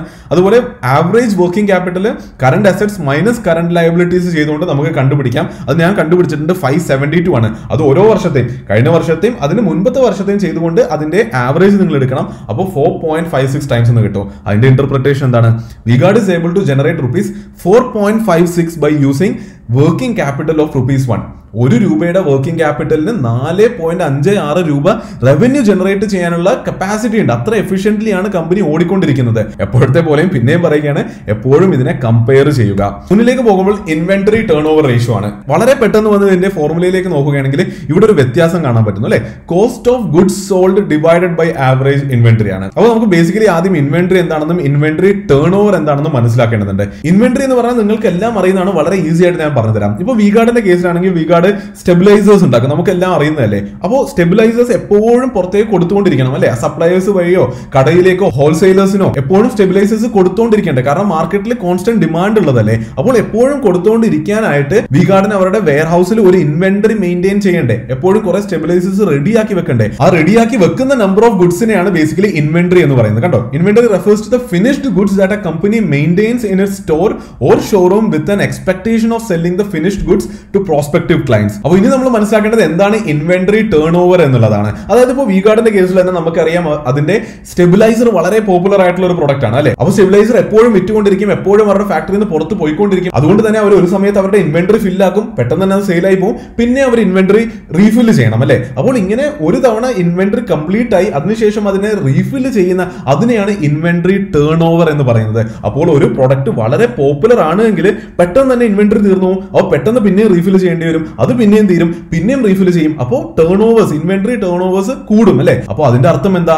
ആ പ്രൊഡക്റ്റ് വളരെ പോപ്പുലർ ആണ് എന്നല്ലേ? അപ്പോൾ ഇൻവെന്ററി ടേൺ ഓവർ കൂടുന്നതിന്റെ അർത്ഥം പ്രൊഡക്റ്റ് പോപ്പുലർ ആണ്. അത് ഡെഫിനറ്റ്ലി ഒരു നല്ല കാര്യമാണ്. അപ്പോൾ higher the number the better it is അപ്പോൾ നമ്മൾ ആദ്യം കണ്ടതുപോലെ inventory turn ഓവറിന്റെ formula cost of goods sold divided by average inventory ആണ്. അപ്പോൾ കോസ്റ്റ് ഓഫ് ഗുഡ്സ് സോൾഡ് നമ്മൾ ഇതുവരെ കേൾക്കാത്ത ഒരു ടേം ആണ്. അതിനെങ്ങനെ കാൽക്കുലേറ്റ് ചെയ്യാൻ പറ്റും? അതൊന്ന് ശ്രദ്ധിച്ച് വായിച്ചു നോക്കിയേ. കോസ്റ്റ് ഓഫ് ഗുഡ്സ് സോൾഡ് വിറ്റ സാധനങ്ങൾക്ക് എത്ര കോസ്റ്റ് വന്നു എന്നല്ലേ? കമ്പനിക്ക് വന്ന കോസ്റ്റ് എന്തൊക്കെയാണ് എന്നുള്ളതാണ് നോക്കേണ്ടത്. അപ്പോൾ എന്തൊക്കെയാ വരിക കോസ്റ്റ് ഓഫ് മെറ്റീരിയൽസ് കൺസ്യൂംഡ് വരും. അത് ഉണ്ടാക്കാനായിട്ടുള്ള റോ മെറ്റീരിയൽസിന് എന്ത് വിലയാന്ന് നോക്കണം? Purchase of stock in trade നോക്കണം. സ്റ്റോർസ് ആൻഡ് സ്പെയർസ് കൺസ്യൂംഡ് നോക്കണം.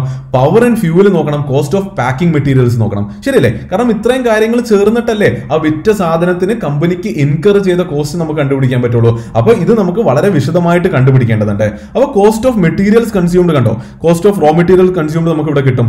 Purchase of stock in trade നമുക്ക് ഇവിടെ കിട്ടും. പിന്നെ നമുക്ക് കിട്ടേണ്ട സ്റ്റോർസ് ആൻഡ് സ്പെയർസ് കൺസ്യൂംഡും പവർ ആൻഡ് ഫ്യൂവലും കോസ്റ്റ് ഓഫ് പാക്കിംഗ് മെറ്റീരിയലും ബേസിക്കലി കണ്ടോ? അതർ എക്സ്പെൻസസിൽ നോട്ട് തേർട്ടി ഫൈവ് ഉണ്ട് എന്ന് കാണുന്നു. ഞാൻ അവിടെ ചെന്ന് കാണിക്കുന്നില്ല. നോട്ട് തേർട്ടി ഫൈവ് നിങ്ങൾ പോവുകയാണെങ്കിൽ അതെല്ലാം ഓരോ ലൈൻ ഐറ്റം ആയിട്ട് വിശദമായി കൊടുത്തിട്ടുണ്ട്. അപ്പോൾ കാൽക്കുലേറ്റ് ചെയ്യുമ്പോൾ ആയിരത്തി എണ്ണൂറ്റി തൊണ്ണൂറ്റി രണ്ട് കോടി വരുന്നുണ്ട്. അപ്പോൾ ഇൻവെന്ററി ടേൺ ഓവർ കാൽക്കുലേറ്റ് ചെയ്യുമ്പോൾ one eight nine two divided by three hundred and forty six average inventory ആണ്. ഇൻവെന്ററി നമുക്ക് വളരെ ഈസി ആയിട്ട് കറണ്ട് അസറ്റ്സിൽ കിട്ടും അല്ലേ? കണ്ടോ? ഇവിടെയുണ്ട് ഇൻവെന്ററീസ് ഉണ്ട്. അപ്പോൾ ഇതിന് രണ്ടിന്റെയും ആവറേജ് നമുക്ക് എടുക്കാം. അങ്ങനെ ഡിവൈഡ് ചെയ്യുമ്പോൾ ഫൈവ് പോയിന്റ് ഫോർ സിക്സ് എന്ന് കിട്ടുന്നു. അപ്പോൾ അതിന്റെ അർത്ഥം എന്താണ്? ഇന്റർപ്രിട്ടേഷൻ ഇവിടെ ഉണ്ട് this means V Guard turns over its inventory five point four six times in a year മനസ്സിലായോ? അതായത് വി ഗാർഡിന്റെ ഇൻവെന്ററി ഒരു വർഷം തന്നെ അഞ്ചര തവണ ടേൺ ഓവർ ആകുന്നുണ്ട്. അല്ല എങ്കിൽ ഓരോ two point one nine months കൂടുമ്പോഴും ഇൻവെന്ററി പിന്നെയും റീഫിൽ ചെയ്യേണ്ടി വരുന്നുണ്ട്. അപ്പോൾ ഈ നമ്പർ കൂടുകയാണെങ്കിൽ അതിന്റെ അർത്ഥം ആ കമ്പനിയുടെ പ്രൊഡക്ട്സ് പെട്ടെന്ന് പെട്ടെന്ന് പെട്ടെന്ന് വിറ്റ് പോകുന്നുണ്ട്. അതുകൊണ്ട് തന്നെ പെട്ടെന്ന് ഇൻവെന്ററി ഫില്ല് ചെയ്യേണ്ടി വരുന്നു എന്നുള്ളതാണ് അർത്ഥം. ഇതും ഡെഫിനറ്റ്ലി നിങ്ങൾ കമ്പയർ ചെയ്യേണ്ടതുണ്ട്. അപ്പോൾ ഇത് നിങ്ങൾ മനസ്സിലാക്കിയിട്ടുണ്ടെങ്കിൽ വളരെ ഈസി ആയിട്ട് വളരെ ഈസി എന്ന് പറഞ്ഞാൽ വളരെ അധികം ഈസി ആയിട്ട് നിങ്ങൾക്ക് അടുത്ത ഇൻവെന്ററി നമ്പർ ഓഫ് ഡേയ്സ് മനസ്സിലാകും. എന്താണ് ഇൻവെന്ററി നമ്പർ ഓഫ് ഡേയ്സ് അതിന്റെ ഫോർമുലയിലേക്ക് നോക്കുന്നതാണ് ഏറ്റവും easy inventory number of days equal to three hundred and sixty five by inventory turnover അതിന്റെ റിസൾട്ടിലേക്ക് നോക്കിയാൽ നിങ്ങൾക്ക് കുറച്ചും കൂടി ഈസി ആയിട്ട് മനസ്സിലാവും. മുന്നൂറ്റി അറുപത്തഞ്ച് ഡിവൈഡഡ് ബൈ നമുക്ക് ഇവിടെ കിട്ടിയ ഫൈവ് പോയിന്റ് ഫോർ സിക്സിനെ നമ്മൾ ഡിവൈഡ് ചെയ്യുമ്പോൾ sixty six point eight days കിട്ടുന്നു. ഇതിന്റെ അർത്ഥം എന്താണ്? V God റഫ്ലി takes about sixty six point eight days to converts its inventory into cash നമുക്ക് മനസ്സിലാക്കാൻ പറ്റുന്നത് എല്ലാ അറുപത്തി ആറ് പോയിന്റ് എട്ട് ദിവസം ആകുമ്പോഴാണ് ഇൻവെന്ററി തീരുന്നതും പിന്നെ അതിനെ റീഫിൽ ചെയ്യുന്നു എന്നുള്ളതുമാണ്. ഇവിടെ ഒന്ന് വായിച്ചു നോക്കിയാൽ നിങ്ങൾക്ക് ഈസി ആയിട്ട് മനസ്സിലാക്കും while the inventory turnover ratio gives a sense sense of how many times the company replenishes their inventory. The inventory number of days gives us a sense of how much time the company takes to convert its inventory into cash. മനസ്സിലായോ? അപ്പൊ ഇത് എത്ര കുറവാണോ അത്രയും നല്ലതാണ് എന്നുള്ളതാണ് അർത്ഥം. അപ്പൊ ഇത് കൂടുമ്പോൾ ഇവിടെ അത് ഡിനോമിനേറ്ററിലല്ലേ അപ്പോൾ ഇത് കുറയുകയല്ലേ ചെയ്ത് അപ്പോൾ ഇത് കൂടുകയും ഇത് കുറയുകയും ചെയ്യുമ്പോൾ ഡെഫിനറ്റ്ലി ആ കമ്പനിയിൽ നല്ല കാര്യമാണ് കാണിക്കുന്നത്. അപ്പോൾ എപ്പോഴത്തെയും പോലെ ഒരു ഡിസ്ക്ലോഷർ ആണ്. നമ്മൾ വി ഗാർഡിന്റെ സ്റ്റോക്കിനെ പല റേഷ്യോസ് ഉപയോഗിച്ച് അനലൈസ് ചെയ്യുന്നുണ്ട്. എന്നാൽ ഇത് ഒരിക്കലും ഒരു സ്റ്റോക്ക് റെക്കമെൻഡേഷൻ അല്ല. This is only for educational purpose നമുക്ക് മുന്നിലേക്ക് നീങ്ങാം. അപ്പോൾ വാട്ട് ആൻഡ് വൈ എന്താണ് ഫിനാൻഷ്യൽ റേഷ്യോ എന്താണ് ഇതിന്റെ പ്രസക്തി? എന്തിനാണ് ഇത് ഉപയോഗിക്കുന്നത്? അപ്പോൾ ഓൾറെഡി നമ്മൾ ബോർഡിൽ നിന്ന് വളരെ വ്യക്തമായിട്ടുള്ള ആ ഒരു നല്ല എക്സാമ്പിൾ പറഞ്ഞതുകൊണ്ട് തന്നെ നിങ്ങൾക്ക് വ്യക്തമായിട്ടൊരു ഐഡിയ കിട്ടിയെന്ന് ഞാൻ വിശ്വസിക്കുന്നു. പക്ഷേ ഇവിടെ ഈ ഒരു ബോർഡിൽ കൊടുത്തിരിക്കുന്ന കാര്യം കണ്ടോ? ഇത് നിങ്ങൾ വളരെ ശക്തമായി ശ്രദ്ധിക്കേണ്ട ഒരു കാര്യമാണ്. അതായത് നിങ്ങൾ ഒരു കമ്പനീനെ അനലൈസ് ചെയ്യുമ്പോൾ അതിന്റെ ഇൻവെന്ററി നമ്പർ ഓഫ് ഡേയ്സ് കുറവും അതിന്റെ ഇൻവെന്ററി ടേൺ ഓവർ റേഷ്യോ കൂടുതലും കാണുകയാണെങ്കിൽ നമ്മൾ ഇപ്പൊ പറഞ്ഞതുപോലെ നല്ലതാണ് എന്ന് നമുക്ക് മനസ്സിലാക്കാം. പക്ഷെ അവിടെ നമുക്കൊരു ചോദ്യം ചോദിച്ചു നോക്കാം. അതായത് ഇവരുടെ പ്രൊഡക്ട്സ് ഇത്രയും പോപ്പുലർ ആണ് ഇത്രയും പെട്ടെന്ന് പെട്ടെന്ന് പെട്ടെന്ന് അവർ വിൽക്കാൻ പറ്റുന്നുണ്ടെങ്കിൽ എന്തുകൊണ്ട് അവർ അവരുടെ പ്രൊഡക്ഷൻ കപ്പാസിറ്റി കൂട്ടുന്നില്ല? എന്തുകൊണ്ട് അവരുടെ സ്റ്റോറേജ് കപ്പാസിറ്റി കൂട്ടുന്നില്ല? എന്തുകൊണ്ട് അവർ സ്കെയിൽ ചെയ്യുന്നില്ല? അപ്പോൾ അങ്ങനെ ഡൗട്ട്സ് കൂടി നമ്മുടെ മനസ്സിലേക്ക് വരേണ്ടതുണ്ട്. അപ്പോൾ ഈ രണ്ട് ഫാക്ടേഴ്സ് വെച്ച് അനലൈസ് ചെയ്യുകയാണെങ്കിൽ ഡെഫിനറ്റ്ലി നിങ്ങൾ കമ്പനീനെ പറ്റി കുറച്ച് നന്നായി പഠിക്കേണ്ടി വരും. ആവറേജ് നമ്പേഴ്സ് ആണെങ്കിൽ പ്രശ്നമല്ല. പക്ഷേ വളരെ ഹൈ നമ്പേഴ്സ് ഉണ്ടെങ്കിൽ എന്തുകൊണ്ട് അത്രയും പെട്ടെന്ന് അവർക്ക് അതിനെ റിപ്ലനിഷ് ചെയ്യേണ്ടി വരുന്നു? അതിലെന്തെങ്കിലും പ്രശ്നമുണ്ടോ? അവർക്ക് ഫണ്ട് റേസ് ചെയ്യാൻ പറ്റാത്തത് കൊണ്ടാണോ? അവർക്ക് ഡെറ്റ് എടുത്തുകൊണ്ട് അവരുടെ കപ്പാസിറ്റി വലുതാക്കാൻ പറ്റാത്തത് കൊണ്ടാണോ? അപ്പോൾ അങ്ങനെ ഒരു സ്റ്റഡി കൂടി നമ്മൾ നടത്തേണ്ടതുണ്ട്. ഡബിൾ ചെക്ക് ചെയ്യേണ്ടത് വളരെയധികം ഇമ്പോർട്ടന്റ് ആണ്. മുന്നിലേക്ക് പോകുമ്പോൾ അടുത്തുള്ളത് accounts receivable turn over ratio ആണ്. എന്താണ് അക്കൗണ്ട്സ് റിസീവബിൾ നമ്മൾ പലതവണ പഠിച്ചതാണ്. അതായത് നമ്മൾ ആർക്കെങ്കിലും കടം കൊടുത്തിട്ട് അവരുടെ കയ്യിൽ നിന്ന് പൈസ കിട്ടാനുണ്ടെങ്കിൽ നമ്മൾ പ്രൊഡക്ട്സ് ഉണ്ടാക്കി വിറ്റു അവർ പൈസ തന്നിട്ടില്ല കുറച്ച് നാൾ കഴിഞ്ഞിട്ട് പൈസ തരാമെന്ന് പറഞ്ഞ് വെച്ചിരിക്കുകയാണ്. അപ്പോൾ അതിനെയാണ് റിസീവബിൾ എന്ന് പറയുന്നത്. അപ്പോൾ അതിന്റെ ഫോർമുലയിലേക്ക് നോക്കുകയാണെങ്കിൽ operating revenue divided by average receivables നോക്കുകയാണെങ്കിൽ accounts receivable turn over ratio നമുക്ക് കിട്ടും അല്ലേ? ഇവിടെ ഒന്ന് വായിച്ചു നോക്കാലോ. The receivable turnover ratio indicates how many times in a given period the company receives money or cash from its debtors or customers എന്നുള്ളതാണ്. അതായത് ഇൻവെന്ററി ടേൺ ഓവർ റേഷ്യോയിൽ കണ്ടതുപോലെ തന്നെ accounts receivable turn over ratio പറയുന്നത് ഒരു വർഷം actually എത്ര തവണയാണ് ടോട്ടലി കിട്ടാനുള്ള റിസീവബിൾ വരുന്നത് എന്നുള്ളതാണ്. അപ്പൊ ഇതിന് ഇവിടെ ഇങ്ങനെ ഡിവൈഡ് ചെയ്യുമ്പോൾ ഓപ്പറേറ്റിംഗ് റവന്യൂ നമുക്കറിയാം ഇവിടെ നിന്നാണ് ആവറേജ് റിസീവബിളും വളരെ ഈസി ആയിട്ട് ബാലൻസ് ഷീറ്റിൽ തന്നെ കറണ്ട് ആസറ്റ്സിൽ ഉണ്ട് കണ്ടോ? ട്രേഡ് റിസീവബിൾസ് ഉണ്ട്. അവിടെ പോവുകയാണെങ്കിൽ നമുക്ക് കിട്ടുന്നതാണ്. അപ്പോൾ five point six three times year എന്നുള്ളതാണ് കാണാൻ പറ്റുന്നത്. This means V Guard receives cash from its customers റഫ്ലി about five point six three times a year ഇതും ഇവിടെ നമുക്ക് കാണാൻ പറ്റുന്നത് ഈ നമ്പർ എത്ര കൂടുതലാണോ അത്രയും നല്ലതാണ്. കൂടുന്നതിന്റെ അർത്ഥം അത്രയും ഫ്രീക്വന്റ്ലി പൈസ കിട്ടിക്കൊണ്ടിരിക്കുന്നു എന്നുള്ളതാണ്. അപ്പോൾ കുറയുമ്പോൾ അത് നല്ല കാര്യമല്ല കാണിക്കുന്നത്. ഇതും ഡെഫിനറ്റ്ലി നിങ്ങൾ കമ്പയർ ചെയ്യുക. മുന്നിലേക്ക് പോകുമ്പോൾ കാണാൻ പറ്റുന്നത് ഡേ സെയിൽസ് ഔട്ട്സ്റ്റാൻഡിംഗ് ആണ്. ഇതിനെ ഞാൻ വളരെ ഈസി ആയിട്ട് എക്സ്പ്ലെയിൻ ചെയ്യണമെങ്കിൽ ഇൻവെന്ററി ടേൺ ഓവർ റേഷ്യോ നമുക്ക് മനസ്സിലായി. അതിനുശേഷം ഇൻവെന്ററി നമ്പർ ഓഫ് ഡേയ്സ് നമുക്ക് മനസ്സിലായി അല്ലേ? ഏറെക്കുറെ ഇതിനെ തന്നെ വേറൊരു രീതിയിൽ ഇന്റർപ്രറ്റ് ചെയ്യുന്നതാണ് ഇൻവെന്ററി നമ്പർ ഓഫ് ഡേയ്സ് അതുപോലെ തന്നെ accounts receivable turn over ratio നിങ്ങൾക്ക് മനസ്സിലായിട്ടുണ്ടെങ്കിൽ ഇതിനെ ഇൻവെന്ററിയുടെ കേസിൽ എങ്ങനെയാണോ രണ്ടാമത്തെ രീതിയിൽ നമ്മൾ ഇന്റർപ്രറ്റ് ചെയ്ത് അതുപോലെ തന്നെ ഇന്റർപ്രറ്റ് ചെയ്യുമ്പോൾ കിട്ടുന്ന സാധനമാണ് day sales outstanding day sales outstanding വേറെ രീതിയിൽ കേൾക്കുമ്പോൾ നമുക്ക് വേറെ എന്തോ സാധനമാണെന്ന് തോന്നും. ബേസിക്കലി അത് accounts receivable number of days എന്ന് വിളിക്കുകയാണെങ്കിൽ വളരെ ഈസി ആയിട്ട് മനസ്സിലാകും. അപ്പോൾ ഇവിടെ ഫോർമുല ഫോർമുലയിൽ എന്താണ് കാണാൻ പറ്റുന്നത്? Day sales outstanding is equal to three hundred and sixty five divided by receivable turnover ratio നേരത്തെ ഇൻവെന്ററിയുടെ കേസിൽ ചെയ്ത പോലെ തന്നെയാണ്. Three sixty five divided by ഈ ഫൈവ് പോയിന്റ് സിക്സ് ത്രീനെ നമ്മൾ ഇടുന്നു. അപ്പോൾ അത് ചെയ്യുമ്പോൾ sixty four point eight three കിട്ടുന്നു. അതായത് the day sales outstanding ratio illustrates the average cash collection period അപ്പോൾ ഏതൊരു പീരീഡിലാണ് നമ്മൾ ക്യാഷ് കളക്ട് ചെയ്തുകൊണ്ടിരിക്കുന്നത് എന്ന് മനസ്സിലാകും. That is a time lag between billing and collection അതാണ് നമുക്ക് ഇതിലൂടെ മനസ്സിലാക്കാൻ പറ്റുന്നത്. അപ്പോൾ ഈ നമ്പർ എത്രയും കുറയുന്നു അത്രയും പെട്ടെന്ന് നമുക്ക് ക്രെഡിറ്റേഴ്സിന്റെ അടുത്ത് നിന്ന് പൈസ കിട്ടുന്നു എന്നല്ലേ? അപ്പോൾ ഈ നമ്പർ കുറയുന്നതാണ് എപ്പോഴും നല്ലത്. അതുപോലെ ഇത് കൂടുന്നതാണ് നല്ലത്. അപ്പോൾ ഇതിന്റെ ഇന്റർപ്രിട്ടേഷൻ നോക്കുകയാണെങ്കിൽ this means we guard takes about sixty four point eight three days from the time it raises an invoice to the time it can collect its money against the invoice മനസ്സിലായില്ലേ? അപ്പൊ ഇതും വളരെ ഈസിയാണ് അപ്പൊ നിങ്ങൾക്ക് inventory turn over ratio മനസ്സിലായിട്ടുണ്ടെങ്കിൽ നിങ്ങൾക്ക് inventory number of days മനസ്സിലായിട്ടുണ്ടാവും. അതുപോലെ തന്നെ നിങ്ങൾക്ക് ഇവിടെ accounts receivable turn over ratio മനസ്സിലായിട്ടുണ്ടെങ്കിൽ same logic വെച്ച് തന്നെ നിങ്ങൾക്ക് ഇവിടെ ഡേ സെയിൽസ് ഔട്ട്സ്റ്റാൻഡിംഗ് മനസ്സിലാക്കാൻ പറ്റും. അപ്പൊ ഇത്ര തന്നെയുള്ള കാര്യങ്ങൾ. ഇത്ര ഈസിയാണ് ബേസിക്കലി ഓപ്പറേറ്റിംഗ് റേഷ്യോസ് എന്ന് പറയുന്നത്. കണ്ടോ? ഇവിടെ നമ്മൾ ഓപ്പറേറ്റിംഗ് റേഷ്യോസ് ഏഴെണ്ണം കണ്ടു. എനിക്കറിയാം ഇതിൽ നമ്മൾ ഓരോ സ്ഥലത്തും നമ്മൾ ബേസിക്കലി സ്ക്രീനറിൽ പോയി നോക്കിയില്ല. കാരണം സ്ക്രീനറിൽ എല്ലാ കാര്യങ്ങളും ഒന്നും കിട്ടില്ല എന്നുള്ളതാണ്. ഇവിടെ അവൈലബിൾ ആയിട്ടുള്ള സാധനങ്ങൾ ഞാൻ ആഡ് ചെയ്തിട്ടുണ്ട്. ആദ്യം നമുക്ക് അസറ്റ് ടേൺ ഓവർ റേഷ്യോ ആണ് കാണാൻ പറ്റുന്നത്.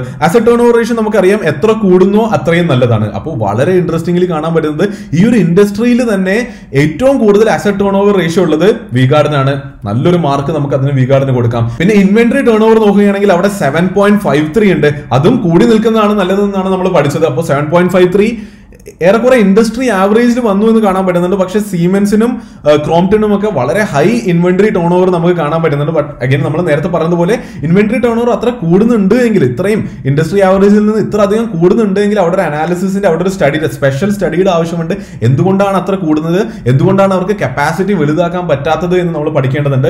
ഡേയ്സ് റിസീവബിളും ഇൻവെന്ററി ഡേയ്സും കുറഞ്ഞു നിൽക്കുന്നതാണ് നല്ലതെന്നാണ് നമ്മൾ പഠിച്ചത്. അപ്പോൾ അത് നോക്കുകയാണെങ്കിൽ V ഗാർഡിന് sixty six point four four ആണുള്ളത്. അത് ഡെഫിനറ്റ്ലി ആവറേജിൽ നിന്ന് ഇൻഡസ്ട്രി ആവറേജിൽ നിന്ന് കുറഞ്ഞാണ് നിൽക്കുന്നത്. ഇൻവെന്ററി ഡേയ്സ് നോക്കുകയാണെങ്കിലും അതും ഇൻഡസ്ട്രി ആവറേജിൽ നിന്ന് കുറഞ്ഞു നിൽക്കുന്നത് കാണാൻ പറ്റുന്നുണ്ട്. എന്നാലും സീമെൻസിനൊക്കെ വളരെ നല്ല നമ്പറാണ് ഉള്ളത് ബട്ട് അഗൈൻ ഞാൻ പറഞ്ഞതുപോലെ സീമെൻസിലേക്കൊക്കെ ഒന്ന് നന്നായി നോക്കേണ്ടിയിരിക്കുന്നു. അപ്പൊ നമ്മൾ ഇന്ന് പഠിച്ച റേഷ്യോസ് എല്ലാം വെച്ചിട്ട് പിയേഴ്സുമായിട്ട് കമ്പയർ ചെയ്യാൻ പഠിച്ചു. എന്നാൽ ഞാൻ പ്രസന്റേഷനിൽ കഴിഞ്ഞ വീഡിയോയിൽ ചെയ്ത വിഗാർഡിനെ തന്നെ ഹിസ്റ്റോറിക് ഡേറ്റയുമായിട്ടുള്ള ഒരു കമ്പാരിസൺ നടത്തുന്നില്ല. ഒന്നാമത്തെ റീസൺ വീഡിയോ നീണ്ടു പോകണ്ട എന്നുള്ളത് കൊണ്ടാണ്. രണ്ടാമത്തെ റീസൺ അത് നിങ്ങൾ സ്വയം ചെയ്യണമെന്ന് എനിക്ക് ആഗ്രഹമുള്ളത് കൊണ്ടാണ്. അപ്പൊ ഏറ്റവും അവസാനമായിട്ട് പറയുകയാണെങ്കിൽ മുകളിൽ വന്നുകൊണ്ട് നമ്മൾ ഇന്ന് പഠിച്ച റേഷ്യോസ് കൂടി ഞാനിവിടെ ആഡ് ചെയ്തിട്ടുണ്ട്. അപ്പോൾ ഞാൻ കഴിഞ്ഞ ദിവസം പറഞ്ഞതുപോലെ ഈ ഒരു ലൈൻ വരെയുള്ള ഈ ഇപ്പോൾ ഹൈലൈറ്റ് ചെയ്തിരിക്കുന്ന ഇത്രയും സാധനങ്ങൾ നിങ്ങൾ നോർമലി സ്ക്രീനറിൽ കയറിയാൽ ഡെഫിനറ്റ്ലി ഉണ്ടാകും. ഈ താഴെയുള്ളതെല്ലാം നിങ്ങൾക്ക് ഇവിടെ ആഡ് റേഷ്യോയിൽ പോയി ടൈപ്പ് ചെയ്ത് ആഡ് ചെയ്യാൻ പറ്റുന്നതാണ്. അപ്പോൾ നമ്മൾ കഴിഞ്ഞ ദിവസം മുതൽ പഠിച്ച net profit net profit margin EBITA return on equity R O C E R O A interest coverage ratio debt to equity financial leverage price to earning price to book value ഇതെല്ലാം ഇന്ന് പഠിച്ചാണ് അല്ലേ? P ratio P B V ratio P S ratio asset turnover ratio inventory turnover ratio days inventory outstanding days receivable outstanding അപ്പൊ എപ്പോഴും പറയാറുള്ളത് പോലെ എല്ലാ ഡേറ്റയും നമ്മൾ പഠിച്ച എല്ലാ ഫിനാൻഷ്യൽ റേഷ്യോസും നമുക്ക് സ്ക്രീനറിൽ കിട്ടുന്നില്ല. ബട്ട് അഗെയിൻ നമുക്ക് ഇത്രയെങ്കിലും കിട്ടുന്നുണ്ടല്ലോ. അപ്പൊ ഇത്രയും വെച്ച് നമുക്കൊരു ബേസിക് സ്റ്റഡി നടത്താൻ പറ്റുന്നുണ്ട്. ഒരു കമ്പനി നല്ലതാണോ? അതിനെപ്പറ്റി കൂടുതൽ സ്റ്റഡി നടത്തേണ്ടതുണ്ടോ? അതിന്റെ അകത്തേക്ക് കുറെ കൂടെ റിസർച്ച് ചെയ്യേണ്ടതുണ്ടോ എന്ന് ഇത്രയും റേഷ്യോസ് കാണുമ്പോൾ നമുക്ക് മനസ്സിലാക്കാൻ പറ്റും. അപ്പോൾ ഒരു പെട്ടെന്നൊരു ക്യുക്ക് റിവിഷൻ നടക്കുകയാണെങ്കിൽ നെറ്റ് പ്രോഫിറ്റ് ലാസ്റ്റ് ഇയർ നോക്കുമ്പോൾ കഴിഞ്ഞ വർഷത്തെ പ്രോഫിറ്റ് കാണാൻ പറ്റുന്നു. പ്രോഫിറ്റ് പക്ഷേ ഒരു കമ്പനിയുടെ നോക്കിയിട്ട് മാത്രം നമുക്ക് പ്ര- പ്രത്യേകിച്ച് ജഡ്ജ്മെന്റ് ഒന്നും നടത്താൻ പറ്റില്ല. പക്ഷേ നെറ്റ് പ്രോഫിറ്റ് മാർജിൻ കുറേ കൂടെ ഐഡിയ തരും അല്ലെ? സിക്സ് പോയിന്റ് ഫോർ ഫൈവ് പെർസെന്റേജിന്റെ നെറ്റ് പ്രോഫിറ്റ് മാർജിൻ ഉണ്ട്. അപ്പൊ ഈ മാർജിൻ നല്ലതാണോ എന്ന് അറിയാൻ ഡെഫിനറ്റ്ലി ഈ കമ്പനിയുടെ തന്നെ കഴിഞ്ഞ വർഷങ്ങളിലെ മാർജിൻസിലേക്ക് നോക്കണം. ഈ ഇൻഡസ്ട്രിയിലുള്ള മറ്റ് കമ്പനികൾ പ്രോഫിറ്റ് മാർജിൻ എത്രയാണ് ജനറേറ്റ് ചെയ്യേണ്ടതെന്ന് നോക്കണം. പിന്നെ കഴിഞ്ഞ വർഷത്തെ എബിറ്റ് എത്രയാണെന്ന് കാണിക്കുന്നുണ്ട്. ഇതും നമ്മൾ അബ്സല്യൂട്ട്ലി നോക്കിയിട്ട് നമുക്ക് പ്രത്യേകിച്ച് ഐഡിയ ഒന്നും കിട്ടില്ല. ഇതും എഗൈൻ കമ്പാരിസൺ വേണം. അങ്ങനെ പറയുകയാണ് ജനറലി എല്ലാ കാര്യങ്ങളും നമ്മൾ കമ്പയർ ചെയ്താൽ മാത്രം മനസ്സിലാകുള്ളൂ പക്ഷെ അബ്സല്യൂട്ട്ലി നമുക്ക് മനസ്സിലാക്കാൻ പറ്റുന്ന കാര്യം എന്താണെന്ന് ചോദിച്ചാൽ റിട്ടേൺ ഓൺ ഇക്വിറ്റി ട്വന്റി എന്ന് കാണുമ്പോൾ തന്നെ നമുക്ക് മനസ്സിലാകും. ഈ ബിസിനസ് നല്ല ബിസിനസ് ആണ്. ഡെഫിനറ്റ്ലി നല്ല റിട്ടേൺ ജനറേറ്റ് ചെയ്യുന്ന ബിസിനസ് ആണെന്ന് മനസ്സിലാകും. അതുപോലെ R O C twenty five point nine eight beautiful വളരെ നല്ല കാര്യമാണ്. ആർ ഒ നല്ലതാണ്. ആർ ഒ സി നല്ലതാണ്. കഴിഞ്ഞ വീഡിയോയിൽ ഡിസ്കസ് ചെയ്ത പോലെ ആർ ഒയിനേക്കാളും കൂടുതലാണ് ആർ ഒ സി എന്ന് കാണുന്നുണ്ട്. ഡെഫിനറ്റ്ലി അതും നല്ല കാര്യമാണ്. ആർ ഒ എയും നയന്റീൻ പോയിന്റ് സിക്സ് വൺ വളരെ ഹെൽത്തി ആയിട്ടുള്ള ഒരു നമ്പർ തന്നെയാണ്. ആർ ഒയും ആർ ഒ സിയും തമ്മിലുള്ള ഡിഫറൻസ് കുറച്ചുണ്ട്. അത് ബട്ട് അഗൈൻ ഈ ഇൻഡസ്ട്രിയിലുള്ള മറ്റ് കമ്പനീസുമായിട്ട് കമ്പയർ ചെയ്യുമ്പോൾ എത്രയാണ് നിൽക്കുന്നതെന്ന് നോക്കാൻ പറ്റും. Interest coverage ratio ninety two ആണ്. നല്ലത് തന്നെയാണ്. ഡെറ്റ് ടു ഇക്വിറ്റി വളരെ കുറവാണ്. അത് വളരെ നല്ല കാര്യമാണ്. അപ്പോൾ ഡെറ്റ് ഇക്വിറ്റിനെ കമ്പാരിസണിൽ വളരെ കുറവാണെന്ന് കാണാൻ പറ്റുന്നു. അപ്പോൾ ഈ കമ്പനിയിൽ ഡെറ്റ് ഇല്ല. പ്രാക്ടിക്കലി ഇല്ല എന്ന് തന്നെയാണ് കാണാൻ പറ്റുന്നത്. അതൊരു വളരെ നല്ല കാര്യമാണ്. Financial leverage one point zero one one ആണ് ഏറ്റവും ഐഡിയൽ വാല്യൂ എന്ന് നമ്മൾ പഠിച്ചു. വൺ പോയിന്റ് സീറോ ആണെന്ന് പറയുമ്പോൾ ജസ്റ്റ് എബോ ഐഡിയൽ വാല്യൂ ആണ്. അപ്പോൾ അത് മനോഹരമാണ്. വേറെ ഒരു കമ്പനിയിലേക്ക് നോക്കിയില്ലെങ്കിലും ഇതെല്ലാം കണ്ടുകൊണ്ട് തന്നെ വിഗാർഡിന്റെ ഡെറ്റ് പൊസിഷൻ നല്ലതാണെന്ന് മനസ്സിലാകുന്നു. പ്രൈസ് ടു ഏണിംഗ് റേഷ്യോ ഒറ്റ നോട്ടത്തിൽ നോക്കുകയാണെങ്കിൽ പ്രത്യക്ഷ കാണുമ്പോൾ തേർട്ടി വൺ കുറച്ച് എക്സ്പെൻസീവ് ആണ് എന്ന് തന്നെയാണ് കാണുന്നത്. പ്രൈസ് ടു ബുക്ക് വാല്യൂ നോക്കുകയാണെങ്കിൽ സിക്സ് പോയിന്റ് എയ്റ്റ് ഫൈവ് അതും കുറച്ച് എക്സ്പെൻസീവ് ആണെന്നാണ് കാണുന്നത്. Price to sales two point four six അതും കുറച്ച് എക്സ്പെൻസീവ് തന്നെയാണ്. പക്ഷേ ഇവിടെ നമുക്ക് ചെയ്യാൻ പറ്റുന്നത് അബ്സല്യൂട്ട്ലി എക്സ്പെൻസീവ് എന്ന് കാണുന്നുണ്ടെങ്കിലും ഇൻഡസ്ട്രിയിലുള്ള മറ്റ് കമ്പനീസുമായിട്ട് കമ്പയർ ചെയ്തിട്ട് വേണമെങ്കിൽ ഒരു ഡിസിഷൻ എടുക്കാൻ പറ്റും.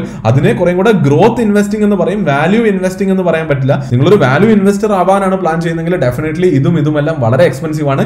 ഇതിനേക്കാളും എത്രയോ എത്രയോ താഴോട്ട് വന്നാൽ മാത്രമേ ഇൻവെസ്റ്റ് ചെയ്യാൻ അഡ്വൈസ് ചെയ്യാൻ പറ്റുള്ളൂ. പക്ഷെ അത് രണ്ടും രണ്ട് സ്കൂൾസ് ഓഫ് തോട്ട്സ് ആണ്. നമ്മൾ വരുന്ന വീഡിയോയിൽ ഡിസ്കസ് ചെയ്യുന്നുണ്ട്. അപ്പോൾ നിങ്ങൾ ഏതാണോ സെലക്ട് ചെയ്യുന്നത് അതിനനുസരിച്ച് നിങ്ങൾക്ക് മുന്നിലേക്ക് പോകാം. നിങ്ങളൊരു വാല്യൂ ഇൻവെസ്റ്റർ ആണെങ്കിൽ ഒറ്റയടിക്ക് ഇത് നോക്കിയിട്ട് നിങ്ങൾക്ക് വി കാർഡിൽ ഇൻവെസ്റ്റ് ചെയ്യേണ്ട എന്ന് തീരുമാനിക്കാൻ പറ്റും. Asset turnover ratio two point eight two നല്ലതാണ്. Inventory turnover ratio seven point five three നല്ലതാണ്. ഇത് രണ്ടും നമ്പർ ഓഫ് ഡേയ്സ് ആണ്. ഇൻവെന്ററി ഔട്ട്സ്റ്റാൻഡിംഗ് ഡേയ്സും റിസീവബിൾ ഔട്ട്സ്റ്റാൻഡിംഗ് ഡേയ്സുമാണ് ഇത് ബേസിക്കലി നമുക്ക് കമ്പയർ ചെയ്താൽ ഇൻഡസ്ട്രി ആവറേജ് കിട്ടിയാൽ മാത്രമേ മനസ്സിലാവുള്ളൂ. കാരണം ഓരോ ഇൻഡസ്ട്രിയുടെയും നേച്ചർ അതിന്റെത് തന്നെയാണ്. അത് നമുക്ക് ഒരിക്കലും കമ്പയർ ചെയ്യാതെ മനസ്സിലാകില്ല. അപ്പോൾ ബേസിക്കലി ഇത്രയും കാര്യങ്ങൾ നിങ്ങൾ നിങ്ങളുടെ സ്ക്രീനറിലേക്ക് ആഡ് ചെയ്യുകയാണെങ്കിൽ ഞാൻ പറഞ്ഞതുപോലെ കുറേ പെർസ്പെക്റ്റീവ് നമുക്ക് കിട്ടും. ശരിയല്ലേ? ഇതിൽ ഏറ്റവും ഇമ്പോർട്ടന്റ് എന്ന് പറയുകയാണെങ്കിൽ പ്രൈസ് ടു ഏണിങ്ങും പ്രൈസ് ടു ബുക്ക് വാല്യൂ ഒക്കെ ഉപയോഗിച്ചാൽ വളരെ നല്ല വാല്യൂ ഇൻവെസ്റ്റേഴ്സ് ആകാൻ നിങ്ങൾക്ക് പറ്റും. അത് തന്നെയാണ് നമ്മൾ ശ്രമിച്ചുകൊണ്ടിരിക്കുന്നത്. വരുന്ന വീഡിയോസിൽ അതിശക്തമായിട്ട് തന്നെ നമുക്ക് മുന്നിലേക്കും പോകാൻ പറ്റുന്നതാണ്. അപ്പോൾ ഇന്നത്തെ പ്രസന്റേഷനിൽ ഇത്രയാണുള്ളത്. ഈ വീഡിയോയിലും കഴിഞ്ഞ വീഡിയോയിലുമായിട്ട് നമ്മൾ ഫിനാൻഷ്യൽ റേഷ്യോസിനെ പറ്റി അതിശക്തമായിട്ട് പഠിച്ചിട്ടുണ്ട്. നന്നായി മനസ്സിലാക്കിയിട്ടുണ്ട്. കാണാൻ ആൾക്കാർ വളരെയധികം കുറവാണെങ്കിലും ഞാൻ ഡെലിവർ ചെയ്യുന്ന വാല്യൂ വളരെ നല്ലതാണെന്നുള്ള ഒരു വിശ്വാസം എനിക്കുണ്ട്. നിങ്ങളുടെ കമന്റ്സും അത് തന്നെയാണ് മനസ്സിലാക്കുന്നത് അപ്പൊ നിങ്ങൾ കുറച്ചൊന്ന് എഫേർട്ട് ഇട്ട് കുറച്ച് പെയിൻ എടുത്ത് ഇത് പഠിക്കാൻ ശ്രമിക്കുകയാണെങ്കിൽ പല സ്ഥലത്തും പലരുടെയും കമന്റ് വായിക്കുമ്പോൾ അതാ മനസ്സിലാകുന്നത്. മനസ്സിലാകുന്നില്ല എന്നും മാത്സ് ഡിഫിക്കൽട്ട് ആകുന്നതെന്നും തലയുടെ മുകളിലൂടെയാണ് പോകുന്നതെന്നൊക്കെ പലരും കമന്റ് ചെയ്യുന്നുണ്ട്. പക്ഷേ അത് ഞാൻ വിശ്വസിക്കുന്നത് ഇത് വളരെ ബേസിക് മാത്തമാറ്റിക്സ് ആണ്. നിങ്ങൾ ഫോക്കസ് ചെയ്യാത്തത് കൊണ്ട് നിങ്ങൾ നിങ്ങളെ തന്നെ അപ്ലൈ ചെയ്യാത്തത് കൊണ്ടാണ് അത് പറ്റാത്തത്. നിങ്ങളൊന്ന് മനസ്സിരുത്തി ആലോചിക്കുകയാണ് എങ്കിൽ പഠിക്കാൻ ശ്രമിക്കുകയാണെങ്കിൽ ഡെഫിനറ്റ്ലി ചെയ്യാൻ പറ്റുമെന്നുള്ള കോൺഫിഡൻസ് ഞാൻ ഹൺഡ്രഡ് പെർസെന്റേജ് നിങ്ങൾക്ക് തരുന്നുണ്ട്. അപ്പോൾ വീഡിയോ ഇഷ്ടപ്പെട്ടെങ്കിൽ ഡെഫിനറ്റ്ലി ലൈക്ക് ചെയ്യുക. നിങ്ങളുടെ നല്ല നല്ല നല്ല കമൻസ് കമന്റ് ചെയ്ത് തന്നെ അറിയിക്കുക മോട്ടിവേഷൻ തരിക. എപ്പോഴത്തെയും പോലെ മാക്സിമം ആൾക്കാരിലേക്ക് ഷെയർ ചെയ്ത് ഈ ഒരു കാര്യം പഠിക്കാനും ഇതിൽ സ്ട്രോങ് ആകാനും നമ്മുടെ കമ്മ്യൂണിറ്റി സ്ട്രോങ്ങർ ആക്കാനും നിങ്ങൾ ശ്രമിക്കുക. വീഡിയോ കണ്ടതിന് വളരെയധികം നന്ദിയുണ്ട്. അടുത്ത വീഡിയോയിൽ കാണുന്നത് വരെ നന്ദി നമസ്കാരം.